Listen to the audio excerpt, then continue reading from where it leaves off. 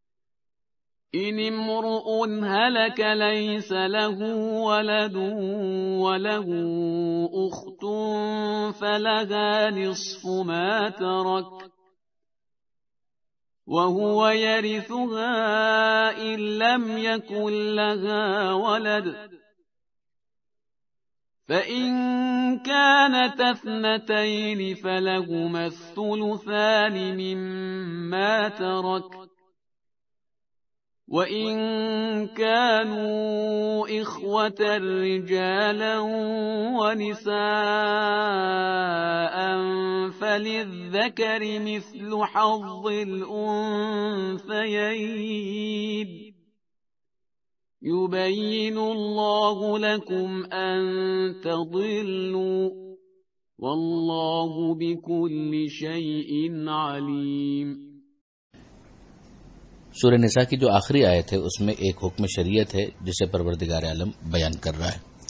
और इस के साथ कि ये आपसे हुक्म शरई दरियाफ्त करते हैं। कुल, आप कह दीजिए, अल्लाह युफ्ती कुम फिल कलाला। अल्लाह तुम्हें कलाला के बारे में हुक्म शरा बयान करता है, बताता है। तो अब यहाँ पर जो मौजू है, सवाल का, वो कलाला है। और उसकी फिर चार शिके हैं कि जिसे यहाँ पर एलोबरेट किया गया है, समझाया गया है। कलाला का मतलब है भाई, बहन। और उनके जो मीरास के हवाले से जो मसाइल हैं, उनको डिस्कस किया जा रहा है।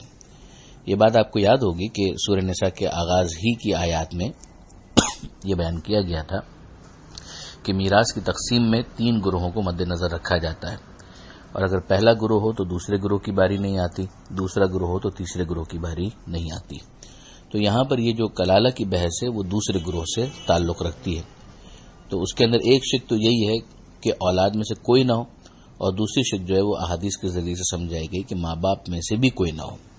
और अगर उस शख्स का इंतकाल हो जाए तो फिर उसकी अगर एक बहन है तो उसका मसला क्या बनेगा? और वो अगर बहन इंतकाल कर जाए तो फिर ये उसका विरसा किस तरह से लेगा? तो दो तो सिचुएशंस यही हैं कि अगर एक शख्स है और उसकी औलाद नहीं है और उसकी एक बहन है तो उसको आधा तरका मिलेगा, यानी जो मरने वाले ने छोड़ा है, उसका निस उसको मिल जाएगा। और अगर बहन का इंतकाल हो गया तो वो उसका वारिस बनेगा पूरे का। और कंडीशन उसमें भी वही है कि उसके यहाँ भी कोई औलाद न हो। और अगर दो बहनें हैं तो फिर इन दोनों को टू थर्ड मिलेगा, यानी दो तिहाई मिलेगा उस भाई के विरसे में से। और अगर इस तरह से मामला है कि बहन भाई दोनों हैं, और मर्द भी हैं, औरतें भी हैं तो फिर उसके बाद फलिस जकरे मिसलो हजिल उनसे यह। कि लड़कों का हिस्सा दुगना होगा लड़कियों के मुकाबले में। यानी बहनों का हिस्सा आधा होगा और भाइयों का हिस्सा डबल होगा। युबैनुल्लाह लकुम अंतदिल्लु अब ये चार केसेस बयान करने के बाद परवरदिगार आलम ये इरशाद फरमाता है कि अल्लाह तुम्हारे लिए बयान करता है साफ़ साफ़ बयान करता है कि तुम गुमराह न हो जाओ। वल्लाह बिकुल्ल शैन अलीम और अल्लाह हर चीज़ का इल्म रखता है। सवाल यह जहन में आता है, जो बिल्कुल वैलिड सवाल है कि कलाला ही के उन्वान से इस सूर्य के आगाज़ की आयात में, जहाँ पर वर्दिगार आलम ने मीराज को डिस्कस किया था, वहाँ पर एक मसला बयान किया था जो इससे मुख्तलिफ़ था। और यहाँ पर ये जो सिचुएशंस बयान की गई हैं, वो मुख्तलिफ़ हैं। तो इन दोनों को रिकनसाइल कैसे किया जाएगा? लफ्ज वहाँ पर भी कलाला है और लफ्ज यहाँ पर भी कलाला है। इसी को उलमा कराम ने अहादीस की रोशनी में समझाया है कि वहाँ पर जो मसला बयान हुआ, वो कलालतुल उम का था। यानी मैयत के वो भाई बहन जिनकी माँ एक है और बाप मुख्तलिफ़ है। उनका ये हुक्म, जो आगाज़ में बयान हुआ था, कि अगर एक हो तो छठा हिस्सा और एक से ज़्यादा हो तो तीसरा हिस्सा। और अब यहाँ जो हुक्म बयान हो रहा है, वो कलालतुल अबवैन और कलालतुल अब का है। यानी सगे भाई बहन जो एक माँ बाप के हैं, या ऐसे हैं कि जिनका कम से कम बाप एक ही है, मगर माएँ मुख्तलिफ़ हैं। कि अगर सगे भाई बहन की मौजूदगी में तो उनको मीरास मिलती ही नहीं। लेकिन अगर सगे न हो तो ये उनके कायम मकाम हो जाते हैं, यानी उनकी जगह पर उनको हक मिलता है। तो जो उनका हक होगा, वो इनको मिल जाएगा। और अब उनका ये हुक्म यहाँ पर बयान किया जा रहा है कि अगर एक बहन हो तो आधा, एक से ज़्यादा बहनें हो तो सोलोसैन और अगर एक या कई भाई हों तो कुल मतरू का और अगर भाई बहन मखलूत हों तो भाई को दोहरा और बहन को सिंगल। ये इन भाई बहनों का हुक्म है। अल्लाह सैद अली नकी साहब का एक बहुत अच्छा तबसरा है फरमाते हैं कि ये तफसील फ़िक इस्लामी में मुतफ़ अला है। मगर सवाल यह है कि ये तफसील कहाँ से मालूम हुई? कुरान मजीद में तो दोनों जगह कलाला की लफ्ज़ है। इससे साफ़ ज़ाहिर है कि माखज अहकाम, यानी अहकाम को डिराइव करने की जो सोर्सेज हैं, उसके लिए कुरान अकेला नहीं उतारा गया। बल्कि कुरान के साथ तफसीलात के बयान करने के लिए एक दूसरे तर्जुमान को मुकर किया गया था। फिर अगर आप उस तर्जुमान को छोड़कर तनहा कुरान को काफ़ी समझ लेंगे तो सही तालीमत इस्लाम कहाँ हासिल हो सकते हैं। ये बहुत उम्दा तबसरा है और इस केस के अंदर पूरी तरीके से वैलिड भी है। यहीं से हमें आखिरी जो जुमला है, उसकी भी समझ आ जाती है कि ये परवरदिगार ने जो ये कहा कि खुदा तुम्हारे लिए साफ़ साफ़ बयान कर देता है कि तुम गुमराह ना हो जाओ, जबकि अल्लाह को हर चीज़ का इल्म भी है। तो साफ़ साफ़ बयान क्या किया गया? यही बयान किया गया कि अहकाम को समझने के लिए फकत कुरान मजीद पर इसार दुरुस्त नहीं होगा वरना यहाँ पर भी लफ्ज कलाला है, पीछे भी कलाला का लफ्ज आ चुका है। तुम देख लो कि तुम किस तरीके से इसको इंटरप्रेट करोगे। पैगंबर अक्रम वसल्लम सिर्फ़ माजल्ला माजल्ला, एक पोस्टमैन की तरह से नहीं भेजे गए थे कि पैगाम दिया और उसके अलावा उनकी कोई ज़िम्मेदारी न हो। उसको एलोबरेट करना और खुदा ही की तरफ़ से एलोबरेट करना। यह पैगंबर अक्रम सल्लल्लाहु अलैहि वसल्लम के जिम्मे था और इसीलिए पैगंबर अक्रम ने अपने बाद भी कुरान के साथ अहल बैत को छोड़ा। कि इन दोनों से अगर मुतमसिक रहोगे तो हरगिज हरगिज गुमराह न होंगे, जिनको जिसको हदीस सकलैन कहा जाता है और सही मुस्लिम के अंदर भी वो मौजूद है। एक और बात जो यहाँ पर गौरतलब है वो ये कि अगर आप रब के एतबार से देखें तो जो पिछली आयतें थी, उनके साथ इस आयत का कोई रब नज़र नहीं आता। इसलिए कि पीछे जो गुफ्तगु हो रही थी वो ईसाइयों की रद में थी। हर ईसा के अल्लाह के बेटे होने के हवाले से जो उनके तस्वुरात थे, उनको इनवैलिड किया जा रहा था और उसकी मसम्मत की जा रही थी। अब यहाँ पर एकदम मीराज का मसला बयान कर दिया गया। ये भी हमको समझ में आया कि कोई लाजिम नहीं है कि अगर दो आयतें ऊपर तले हमें नज़र आ रही हैं तो उनमें हर सूरत में किसी न किस्म का, किसी न किसी किस्म का कोई रथ हम तान के निकालें। अब जो सूरा है, यानी सूर्य निशा तो मुकम्मल हो गया, एक सौ छिहत्तर थे अलहमदुल्ला अब उसके बाद सूर्य मायदा शुरू होता है।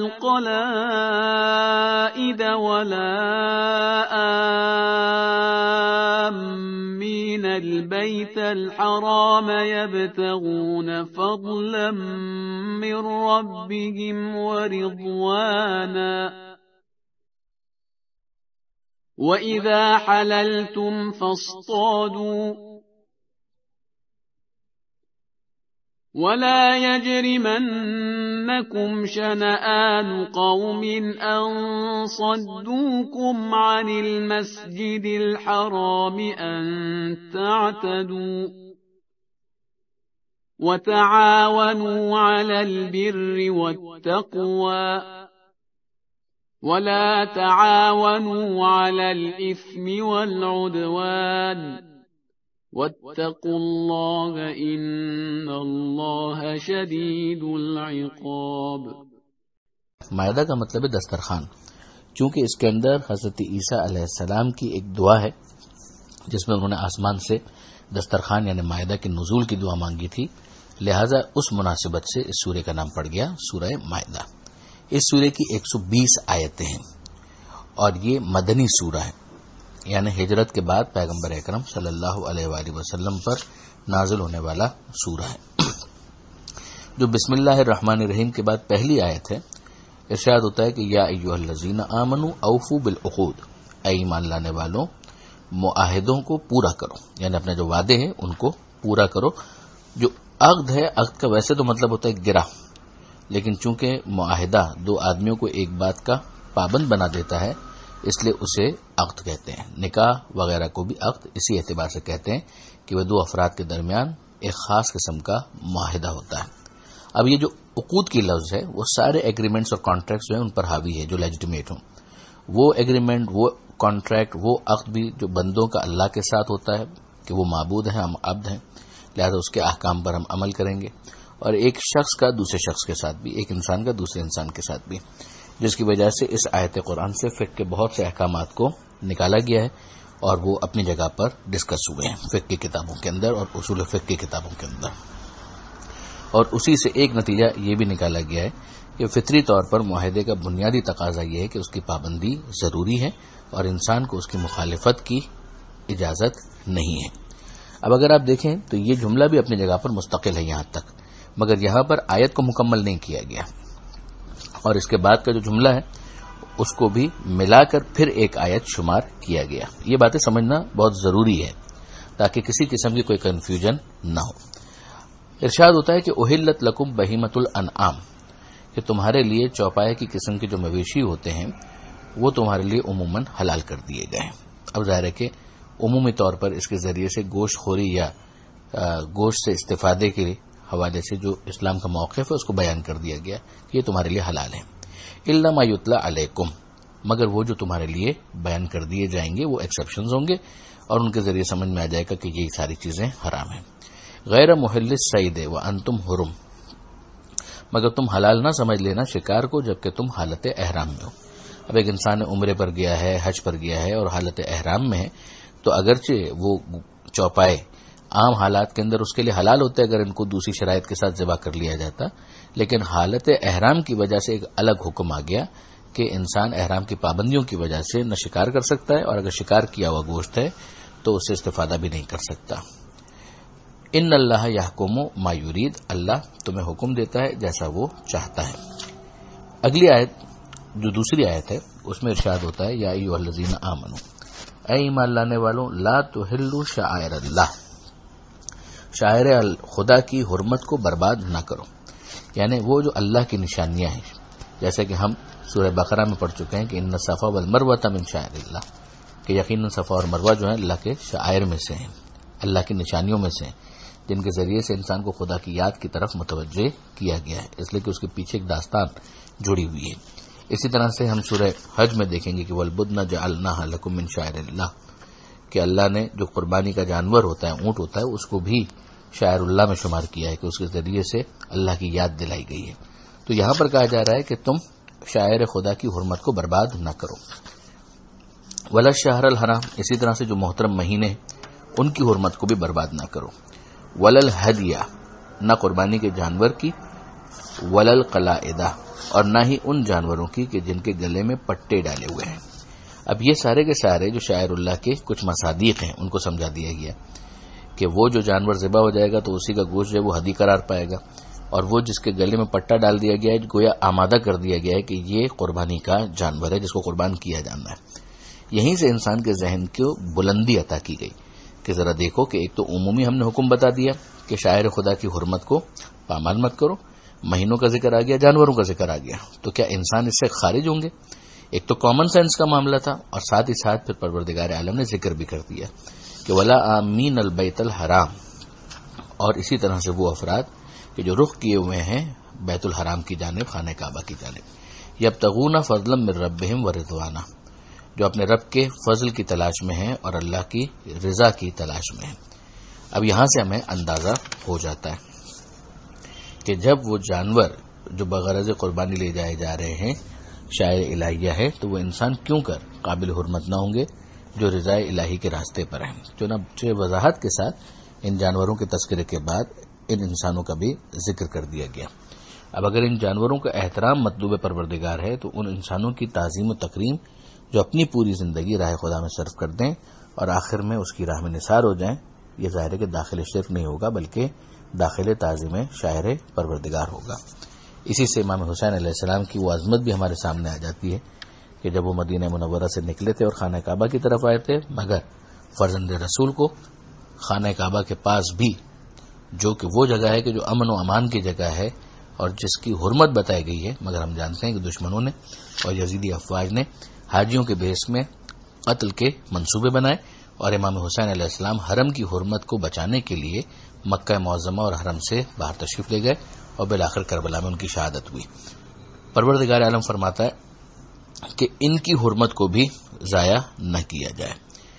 वह इजा हलल तुम फस्ता दो और जब तुम अहराम की हालत से बाहर आ जाओ तो अब तुम शिकार कर सकते हो। अब ये ज़ाहिर है कि उस पिछले हुक्म की कुछ वजाहत आ रही है कि जो एहराम की हालत में तुम्हारे ऊपर शिकार की पाबंदी थी, वो पाबंदी खत्म हो जाएगी। आगे मजीद समझाया जा रहा है कि वला यजरमन्नकुम शनान अनसद्दुकुम अनिल मस्जिद हराम अंतातदू किसी कौम की दुश्मनी तुम्हें इस बात पर आमादा न करे कि तुम उनके साथ ज्यादती करो।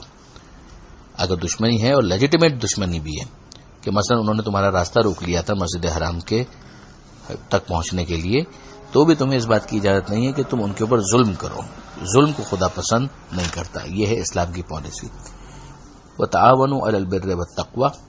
नेकी और तकवा के कामों में एक दूसरे की मदद करो। वला तावन अल इसमें वल उदवान। और जो गुनाह के काम है, जुल्म के काम है, उनमें एक दूसरे का साथ न दो। इन आयतों के ऊपर भी बहुत ठंडे दिल से गौर करने की ज़रूरत है। व तकुल्ला अल्लाह का तकवा इख्तियार करो। इन अल्लाह शदीदुल इक़ाब यकीन अल्लाह बहुत सख्त सजा देने वाला है। परवरदिगार आलम से दुआ है, कुरान मजीद समझने और उस पर अमल करने की तोफ़ी अता फरमा। और वारिस कुरान इमाम ज़माना के जहर में ताजी फरमा। व आखिर दावाना अनहमद रबालमीन वसलम वरहमल वर्का